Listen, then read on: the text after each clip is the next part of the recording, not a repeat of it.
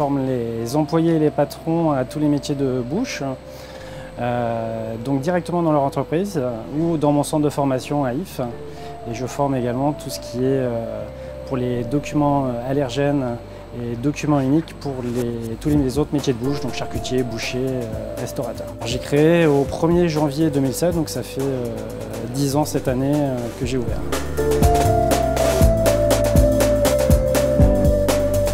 Il s'occupe de ma comptabilité déjà.